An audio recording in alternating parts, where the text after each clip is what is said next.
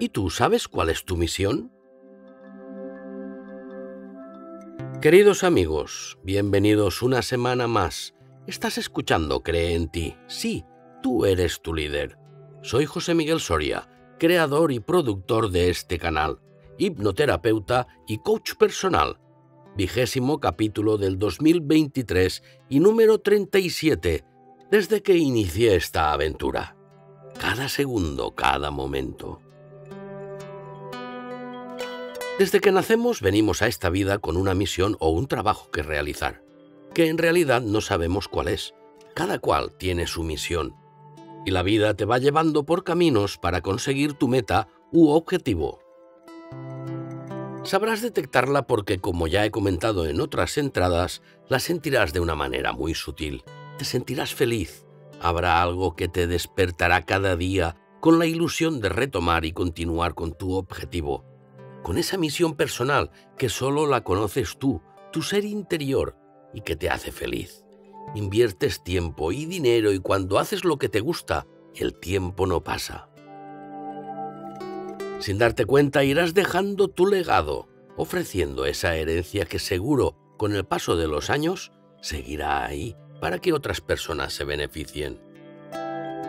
Eso sí, esa misión desde mi punto de vista están basadas en construir, en sumar, en añadir más a lo que ya tenemos, aquí en el espacio en el que vivimos. Entre todos es nuestra obligación colaborar para mantener, y mantener no significa destruir o manipular el espacio que vivimos. Y cuando digo todos no me refiero únicamente al ser humano de la calle, sino a los que mandan que su poder llega más allá. Y te voy a poner un ejemplo. Seguro has oído hablar de los chemtrails, ¿verdad? Ya hace años que se conocen, pero últimamente está siendo algo exagerado y abusivo. Nos montan verdaderos tableros de ajedrez.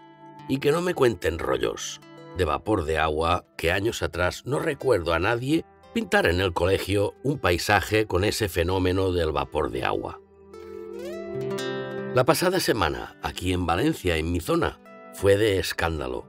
El cielo lleno de rayas en dirección al mar. Para que entiendas mejor, era como si hubieran dibujado una pista de atletismo en el cielo, estando ahí presentes varias horas.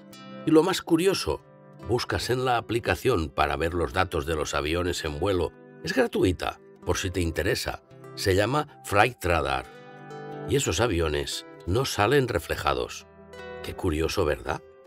O en vez de curioso, mejor sospechoso. Claro que hay rayas en el cielo de forma natural, igual que las nubes, van modificando su aspecto, estas también se modifican. Pero por curiosidad, detente a observarlas, además de sus movimientos, y podrás comprobar que las que forman el damero o círculos de natural tienen poco. ¿Cuánta gente conoces que la tos no se eleva? Yo incluido y no fumo con picores de garganta, en fin. Observemos nuestro alrededor y como dije en una entrada pasada, que dejen las televisiones de manipularnos y engañarnos y justificar lo que no es. Lo peor de todo y para mí más grave es que vienen con el cuento del cambio climático y nos hacen sentir culpables de que eso suceda.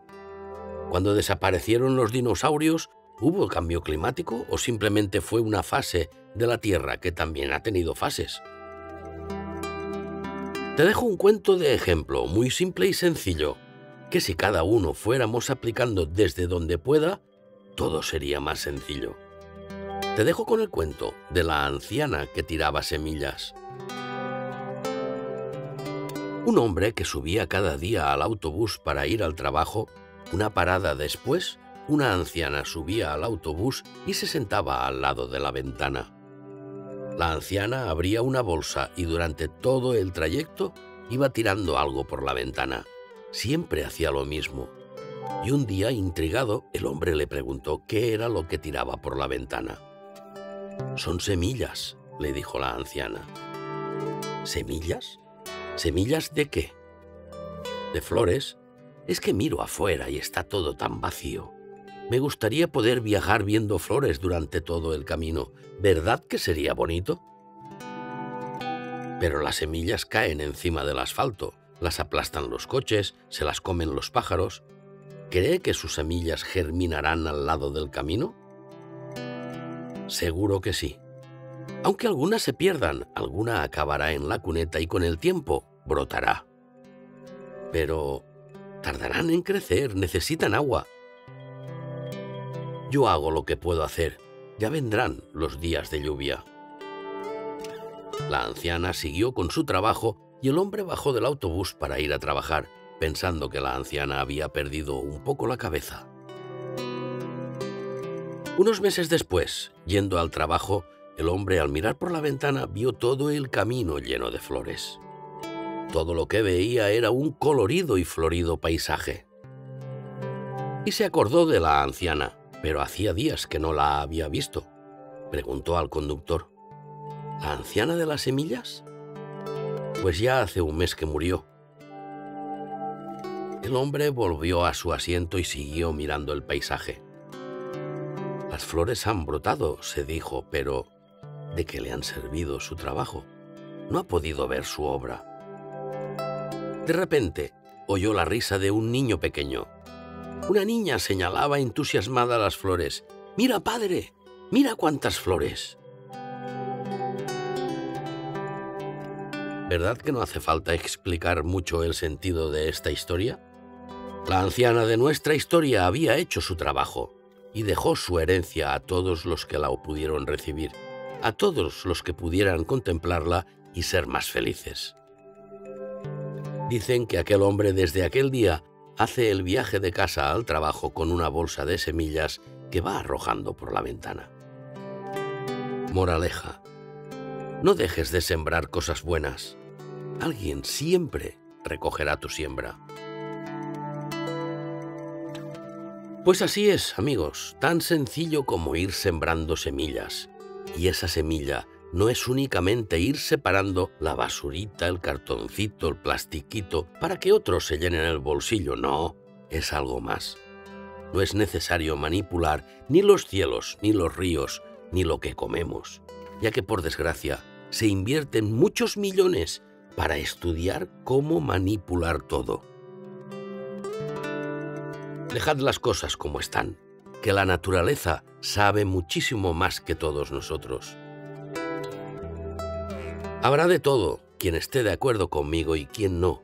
Yo por mi parte me conformo con dejar mi opinión y si a alguien le sirve, encantado.